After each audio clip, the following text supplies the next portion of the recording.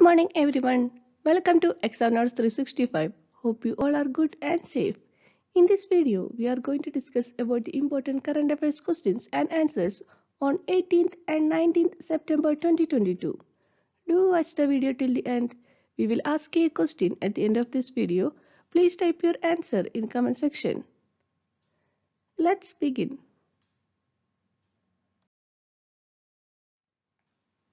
Which country has become the 101st country to ratify International Solar Alliance Agreement?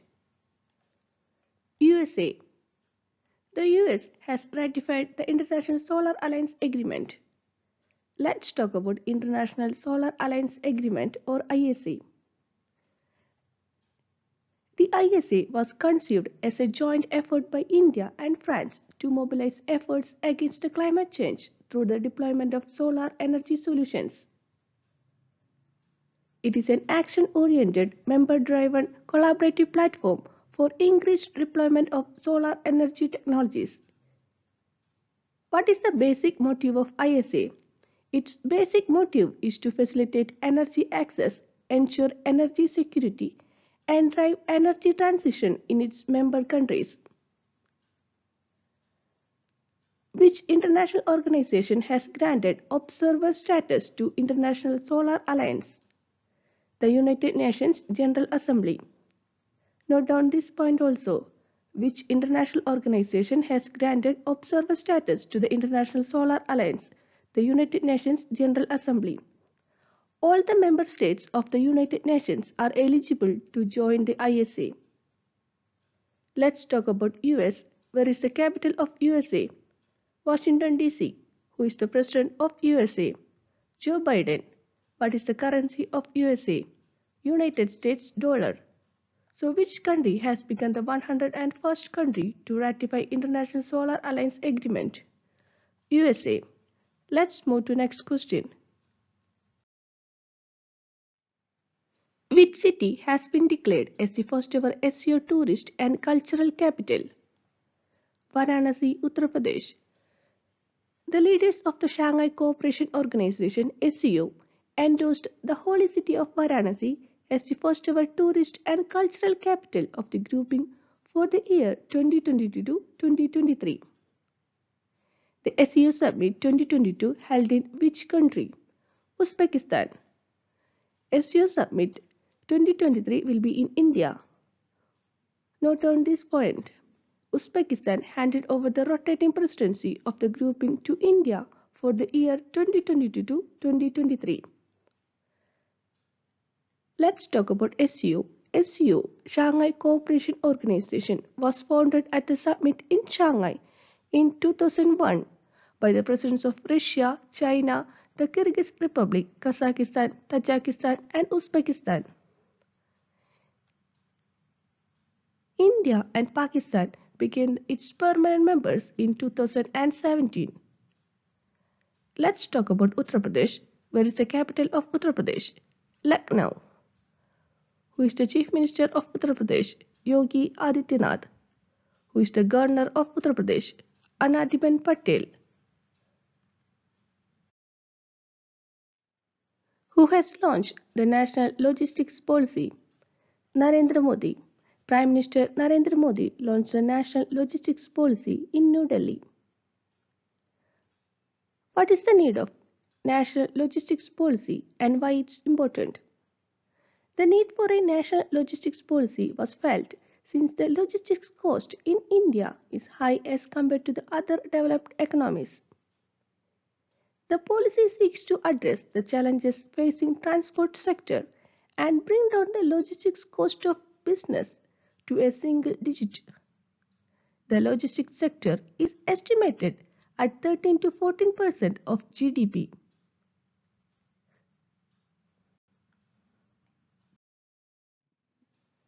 Henry Silva passed away. He was an actor. Actor Henry Silva, one of the most popular male actors in antagonist roles, passed away. He appeared in hundreds of films including Ocean's Eleven and The Manchurian Candidate. Who has sworn in as the President of Angola? Joao Lourenço. Angola's Joao Lourenço took the oath of office for a second term as the country's president at an inauguration ceremony held in Luanda, the Angolan capital. Let's talk about Angola.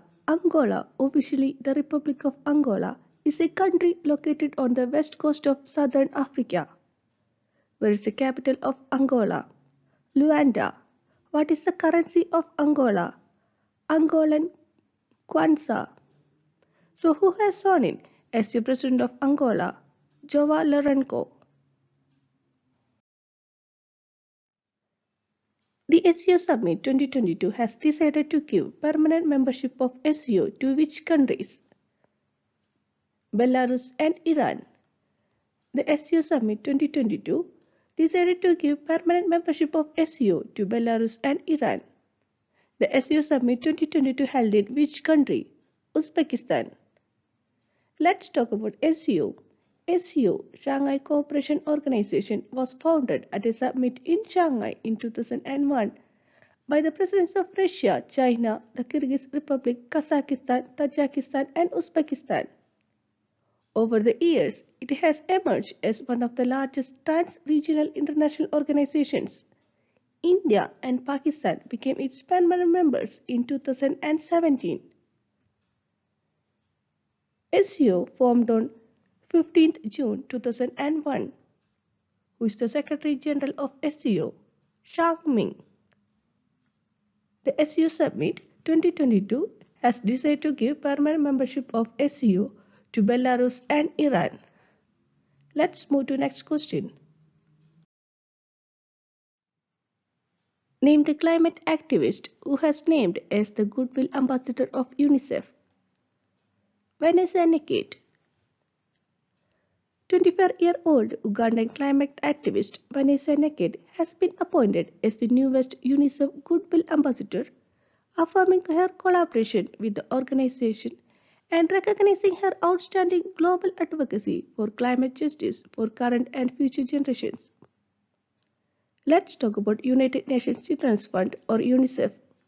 It is an agency of the United Nations responsible for providing humanitarian and developmental aid to children worldwide. Where is the headquarters of UNICEF? New York. Who is the head of UNICEF? Catherine M. Russell who is the Secretary General of United Nations, Antonio Guterres. Let's move to next question. Prime Minister Narendra Modi launched Project Cheetah at which national park? Kuno National Park in Madhya Pradesh. Prime Minister Narendra Modi released the cheetahs brought from Namibia at their new home, Kuno National Park in Madhya Pradesh. Eight cheetahs from Namibia arrived in India as part of a program to reintroduce the feline seven decades after it was declared extinct in India. Let's check the other options. Which is the first national park in India? Jim Corbett National Park in Uttarakhand. Kaziranga National Park, which is famous for one-horned rhinoceros, is in Assam. Bannerghatta National Park is in Karnataka. Let's move to next question. Who has become the world's second richest person? Gautam Adani. Adani Group's chairperson and Indian billionaire Gautam Adani became the world's second richest person. He surpassed Amazon's Jeff Bezos. World Patient Safety Day observed on September 17. World Patient Safety Day is observed every year on September 17 to create awareness about different safety measures that should be taken to ensure patient safety. The day was established by the 72nd World Health Assembly in May 2019 following the adoption of Resolution WHA 72.6 on global action on patient safety. What is the theme of World Patient Safety Day 2022? Medication safety. Note down this point. World Patient Safety Day observed on September 17.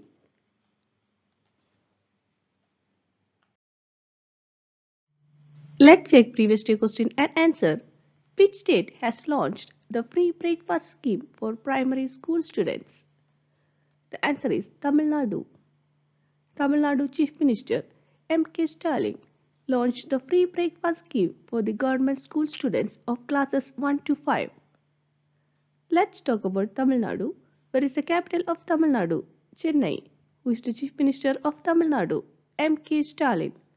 Who is the Governor of Tamil Nadu? R.N. Ravi. Let's check question of the day. Which bank has launched the portal named Pension Sathi? Please type your answer in comment section. Thanks for watching. Hope you liked the video and you have received some important points about current affairs today. If the video find helpful, please subscribe to our channel.